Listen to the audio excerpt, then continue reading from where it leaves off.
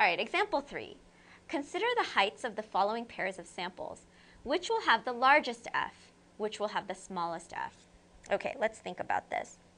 So players from uh, NBA team Lakers versus adults in LA.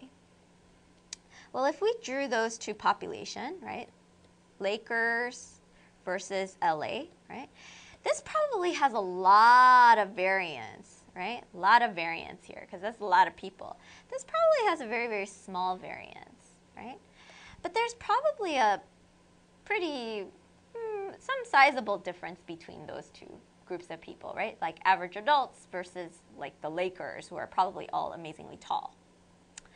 Well, so that's the picture here. Will this have a large f? Will it have a small f? I don't know. Not yet. Well, what about adults in San Francisco versus adults in LA? Well, these two probably both have a lot of within sample variation. There's lots of adults in San Francisco, lots of adults in LA. They're all different from each other, right? But their averages should probably be similar, right? Because it's not like San Francisco is known for super tall people or LA is known for super tall people, right? So this difference between the groups will probably be very small, but the within group variability will be very, very large, right? So I would guess this would have actually a pretty small f. And what about this one? This one is players from an NBA team, Lakers, versus players from another NBA team, the Clippers, right? And so here we might think Lakers, Clippers, right? And there's probably a pretty small variation here. Probably everybody is like above six feet tall, maybe even taller, right? Above like six four or something, right? And so they're probably all like super tall. So there's not a lot of variation.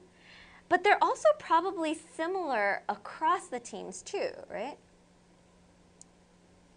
So because probably the average height on the Lakers is probably similar to the average height on the Clippers, just because they're both super tall groups of people, right?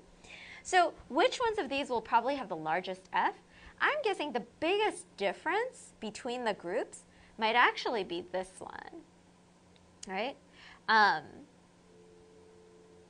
so I would guess, I would go with this one, given that I'm not really sure about the variance here, right? The variance is smaller, but I'm not sure how to compare these so far, right? So this is for largest f, and I'm just going to go by having the largest uh, numerator for sure, right? Well, which will have the smallest f?